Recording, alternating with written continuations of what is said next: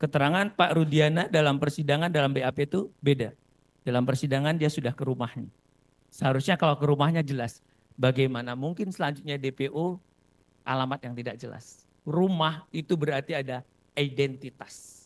Itu keterangan Pak Rudiana dalam persidangan di Pengadilan di Negeri. Cirebon. Ahli hukum pidana Asmi Syaputra menyebut terdapat perbedaan antara keterangan Ibtu Rudiana dalam berita acara pemeriksaan dengan putusan persidangan 2016 silam.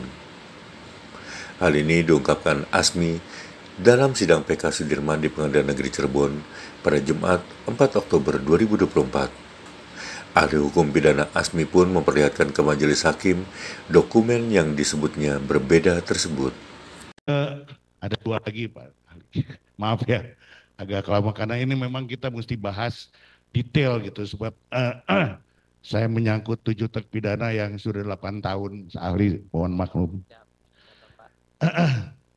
Yang pertama adalah saya ingin meluruskan pandangan publik tentang vonis.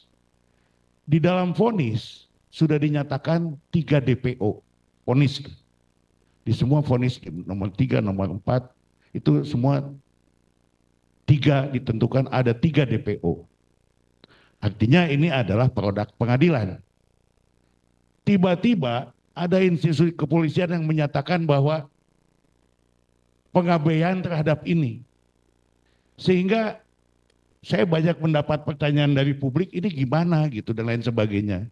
Kebetulan ahli ada di sini, saya minta tolong ahli menjelaskan masalah ini.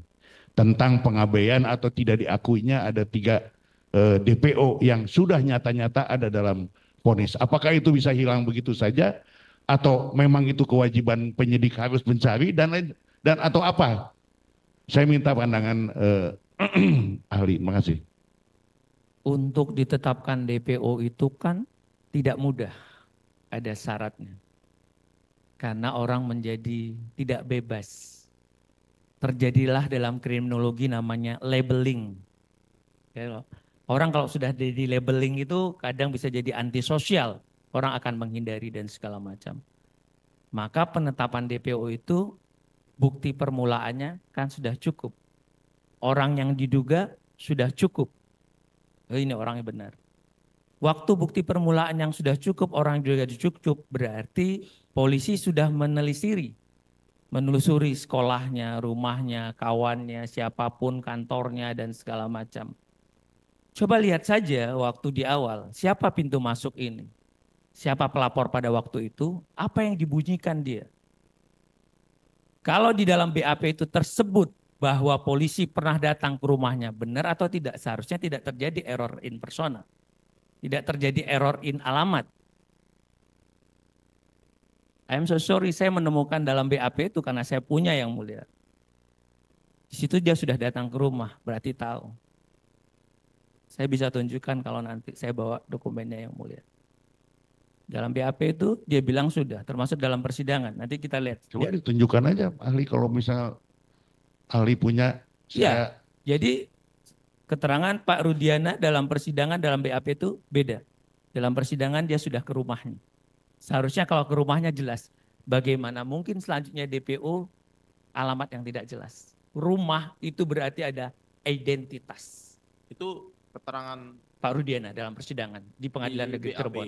Di BAP. BAP dengan putusan itu berbeda yang mulia. Ada bawa dokumennya? Saya punya yang mulia. Silakan ditunjukkan. Kita lihat perbedaannya di mana. ada novum lagi nih. Bentar. Oh.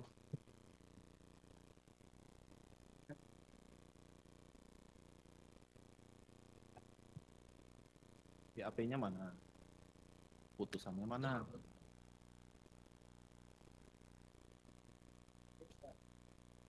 Coba kita cocokkan dengan termo. Ada nggak? BAP atas nama Pak Rudiana ada nggak bawa nggak? Bentar Pak ya kita cocokkan. Ada. Biar sama-sama kita lihat. Ada Pak. Bawa. Putusannya bawa. Termohon bawa putusannya. Kita lihat di BAP, BAP saksi pelapor ya berarti. ya? Ya Pak. Asmi, saksi pelapor berarti. Ya, saksi Pak Aib. Eh sorry, saya si Pak Rudi.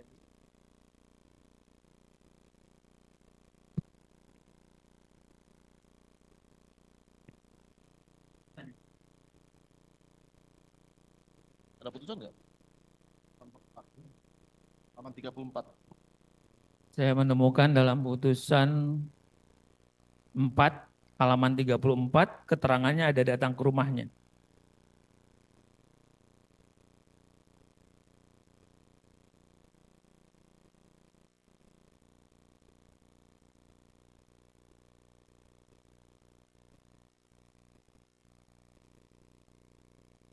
Alinea kedua, Mas.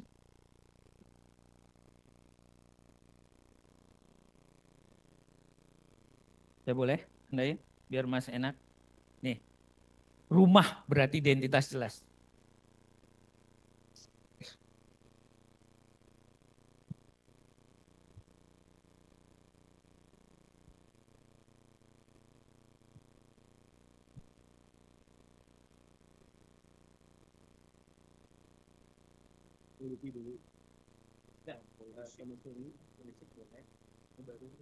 penelitian ya ini ini pramu baru kita bilang terus baru kita menemukan. Kalau dia nggak lakukan dia mungkin. Jadi ini udah address alamat. Ini pesannya. ya kenapa di JPO itu udah ada alamat BAP-nya? yang dia ada dia nggak menerangkan karena dia tidak tahu kan? Dia nggak ada sampai ke sana. BAP tidak bisa. tidak menerangkan karena dia tidak tahu yang karena tidak Mana poin yang dia tidak menerangkan?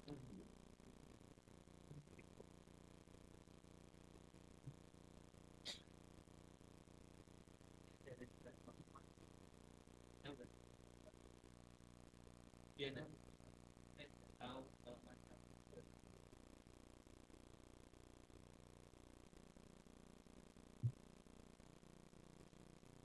saya full itu jadi poin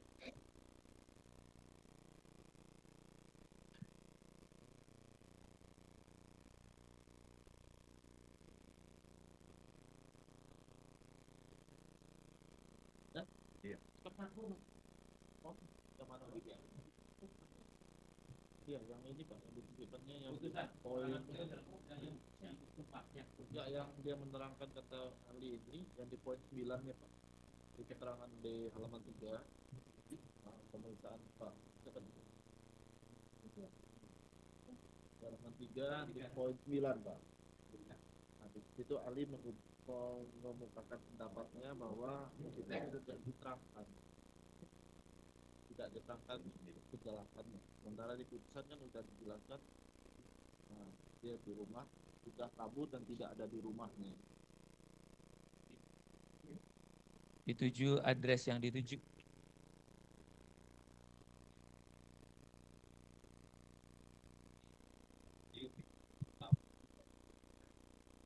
kalau kami ini Ini ditanggapi aja Pak. tiga pelaku sudah kabur dan tidak ada di rumah. Dan tidak ada di rumahnya belum tentu Nanti nanti ditanggapi ditanggapi dalam. Ah, ya, pendapat